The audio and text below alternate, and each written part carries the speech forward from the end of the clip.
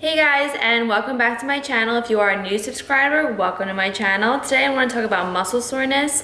I've talked about this with a bunch of different people. I've talked about this through my Snapchat and a lot of people did have questions about it and were interested in me making a YouTube video on it. Um, a lot of people don't know whether if they should be having sore muscles or if their muscles should be sore in order for them to build muscle what does it take to build muscle and is this soreness a huge indicator in whether or not they are building muscle so I wanted to address a few of these questions and hopefully help you guys in this video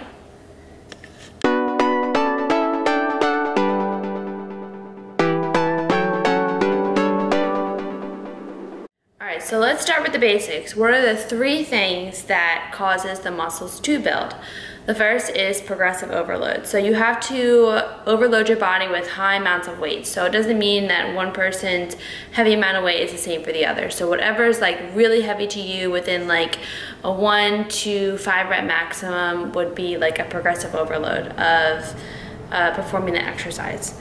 Next is metabolic stress. So you have to put the connective tissues under metabolic stress in order for it to tear, break, and be put under that, again, that heavy amount of weight.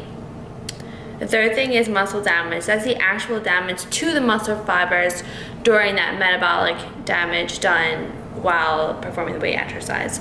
So we have progressive overload, metabolic damage, and the actual muscle damage. These three things will help you build muscle.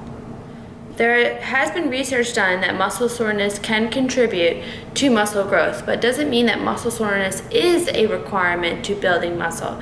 You do not need to have sore muscles every single time you complete a workout and still build that muscle that you're looking to build. So if you are somebody who trains infrequently, you will experience more muscle soreness than somebody who trains more frequently. Somebody who trains more frequently, let's say five to six days a week, is going to experience less muscle soreness, but they are having more muscular growth because they are training more frequently. It doesn't mean that the fact that they are less sore than somebody who trains infrequently are building less muscle. That is not the case. So some people who train very frequently may ask themselves, well, can I train on sore muscles? And the answer is you can train on sore muscles. The fact is this, if you are doing very intense workouts, their muscles need enough time in order to recover. So if you are insanely sore within two days, I recommend not hitting that same muscle group again because the muscle does need to rebuild and um, the, the muscles need to be repaired before you go for another round of that same muscle group. So you will impair your gains if you continue to work out on the same muscle group that is insanely sore. So I recommend one muscle group if you're really focusing on it three days a week, no more than that, you are training very intensely. And other people might ask, what is the best rep ranges in order to build muscles? And my answer to you is there's no exact science to the exact rep ranges. Everybody's different, everybody's body reacts differently. So I think for me and for a lot of people that I've worked with, that the best rep ranges are between five to eight reps maximum in order to build solid muscle. The body needs to be put on a high volume, high overload in order for it to overcome that plateau and really put on solid quality muscle.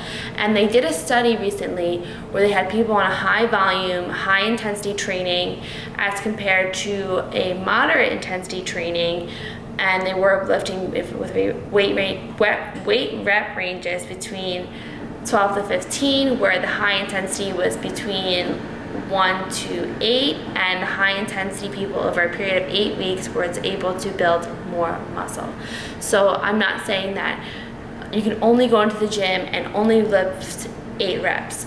I'm talking about like your heavy compound movements. So your squats, your deadlifts, your push-pull movements, everything to build your muscles as a whole. These your like your um, accessory work is not going to build your muscles. It's these big compound movements. That's what I'm talking about as far as rep ranges. That's what's going to make the difference in your physique, and that's what's going to build the muscle that you're looking to build. If you're interested in building solid quality muscle, your goal should be to increase total volume over a week. So use frequency as a tool in order to increase your total volume. And that could change week to week. So as you are increasing volume, the number of sets you will do in each workout will decrease because you're lifting at a very high amount of weight, sometimes hitting 1 RM, so 1 rep maximum. But as you increase the number of sets, you are decreasing the amount of weight you're using per exercise. So let's say like a shoulder side raise, you would do 12 to 15 reps, like something light. But a squat, you would probably do like four sets and a very high amount of weight, lower rep range. So that would be like four sets of that, and then the shoulder side raise probably like six sets of that. So you will decrease the amount of sets you do by increasing the amount of volume in your squat and then your accessory movements you will increase the amount of sets increase the amount of reps in that type of movement so the biggest thing I want you guys to get from this is to really increase your volume with your push-pull movements, your squats, and your deadlifts. More like a power lifter type movement. If you want to make actual muscle gains, you don't need to be doing these crazy workout programs. You don't have to do a thousand different things.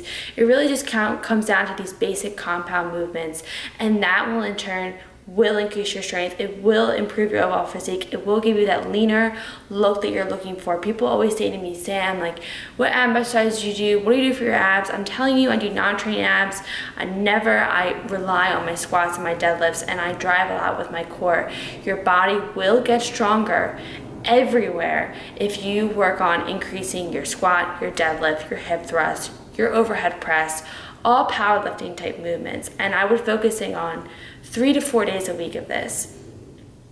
And as far as muscle soreness goes, if you do feel sore with a muscle, I would make sure you're supplementing correctly. So have a post-workout shake, have post-workout proteins and carbs immediately after in order to fuel the muscles, in order for them to rebuild, repair.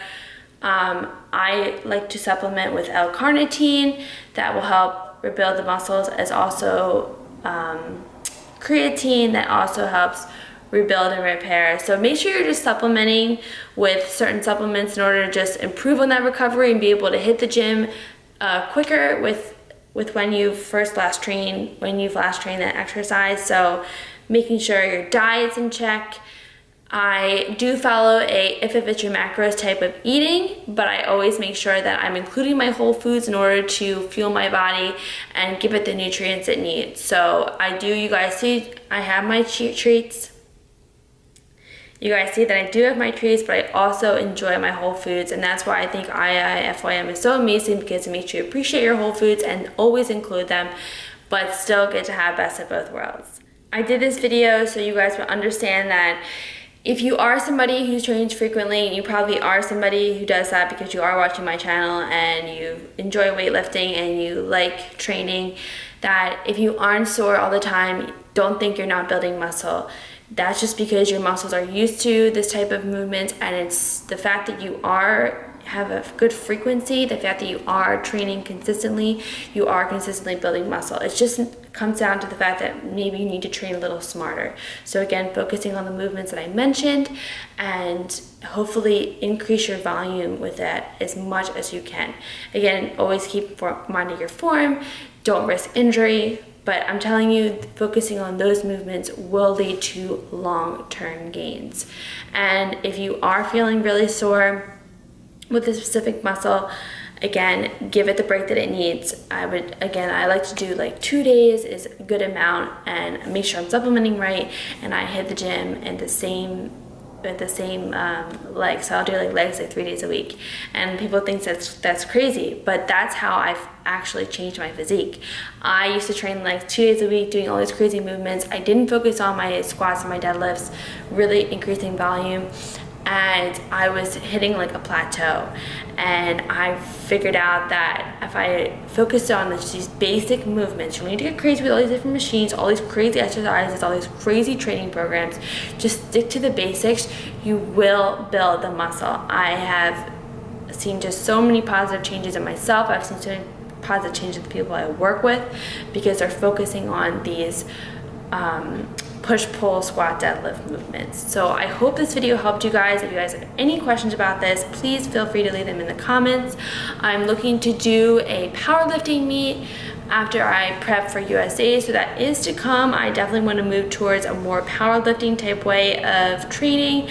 I've seen um, incredible results with that and in the end this is a lifestyle long-term thing so although you don't powerlift for a competition you will power lift in order to build the strength. And that's what we ultimately do. That's why we train. We train to get stronger, to feel better, to improve on our physiques. And if you stay in that constant plateau, the same constant 10 to 15 rep ranges and same basic um, movements that you see like with all these different accessory works and not focusing on those high volume movements, your physique will remain in that plateau. So that is my biggest advice to you guys is to um, take a step back and reevaluate your training and maybe incorporate more of these movements and really incorporate more volume. And don't be afraid of sore muscles. Sore muscles, you can train on sore muscles, but I recommend again, two to three days to take a break um, in between the same muscle group. All right, thanks again guys for watching. I hope you enjoyed this.